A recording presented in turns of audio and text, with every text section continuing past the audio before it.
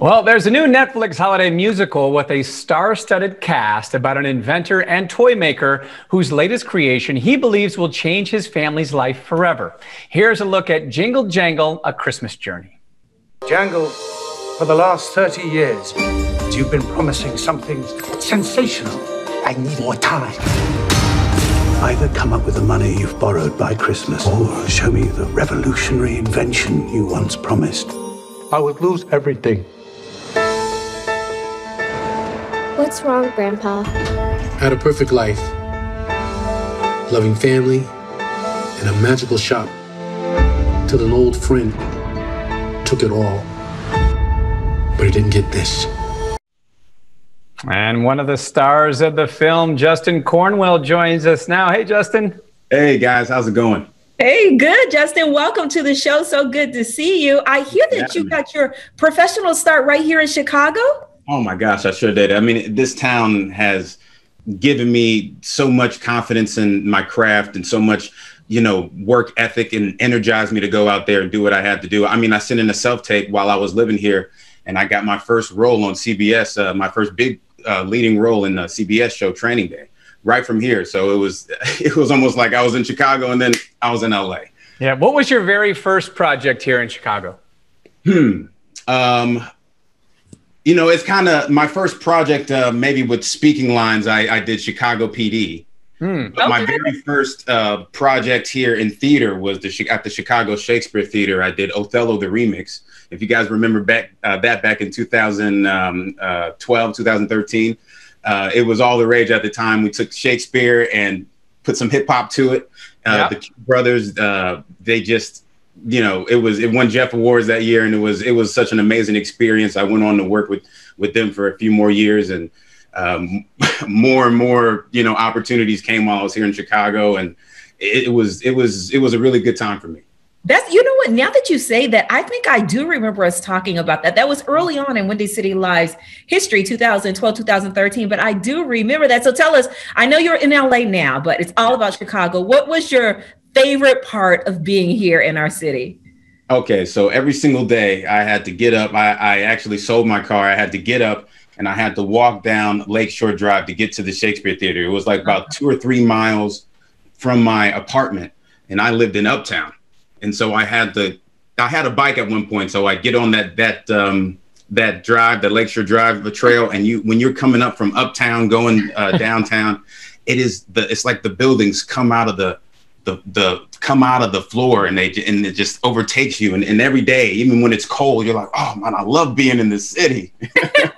Yeah. How i felt every day yeah we try to say that in the winter, but it gets tougher and tougher as we get older. Hey, let's talk about the film. Uh, Val and I both had a chance to see it. I, I really think this is going to be the feel good holiday movie of the season. And you get to play a pretty special role playing a young Forest Whitaker.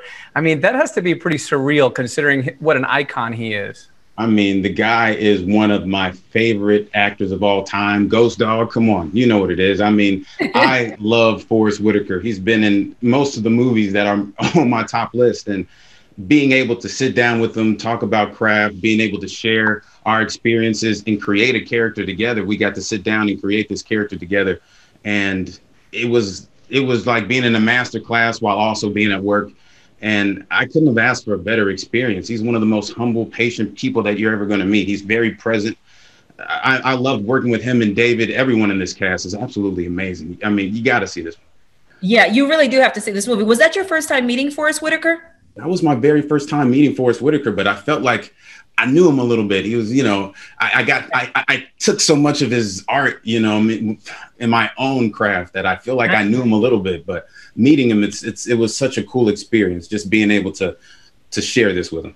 Now yeah. let me ask. Oh, uh, let me ask you this because there are a lot of wonderful, beautiful musical scenes in there. Um, were you always a dancer like that?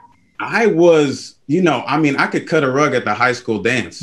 Oh, okay. People knew me, and when it came time for that that school dance, like you know I was had my b boy on, you know I was doing my thing.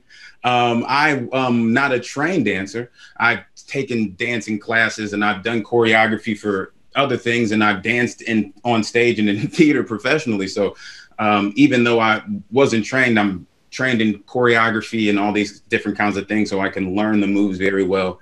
I've been dancing my whole life. I love dance. Uh, I love to sing, and uh, yeah, I got that great track at the beginning that I get to sing, and it's just you know it's amazing.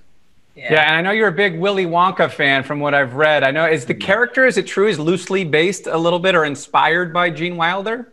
I think so. I mean, uh, when I read the, the sides for the um, for the script, I said, "Oh, this. I think he's trying to do what he did in Willy Wonka." And so I gave him that, and he goes, "Ah, you knew what I was doing." I was like, "Yeah." And so him and um, he was like, "Give me some gene, give me some geneisms." You know, what what are those things? And I didn't. He didn't have to go too far to learn them because I knew I know that movie inside and out. It was my favorite movie, number one on my list still. Um, it's just magical. I used to go out every theater show and say, "Come with me, and you'll be in a world of pure imagination." That was just kind of like the thing that psyched me up for giving the audience an illusion or story or something fun to watch or something to be entertained by. And I mean, I lived my life by a lot of mantras in that film. So I am a big Willy Wonka fan, and I think he just kind of gathered a bunch of Willy Wonka nerds together and put this out there because we all love That's it. amazing. And Val, you, have you seen that movie yet, Val? Ryan, really? Okay, that's what we on today. It's a classic.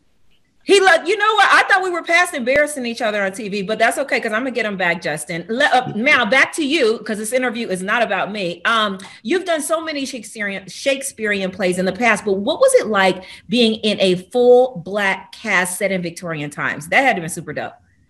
Um, it was amazing. Since I had played in that world of Victorian times so much, I just kind of fell right into it. Um, but seeing everyone dressed the way that they were and having all the multi, multicultural people on set in the as in the in the dancers and, and Hugh Bonneville and Ricky Martin and all these people coming together, but seeing the perspective being told, the narrative being told through black eyes just made me feel seen. It made me feel understood. Like I, I was sitting there with David, like, are we really making this? Like, are this is we get to do this? Like, he's like, I don't even, I don't know why they let me do it. Oh my god! I was like, well, it's a fantastic like, film.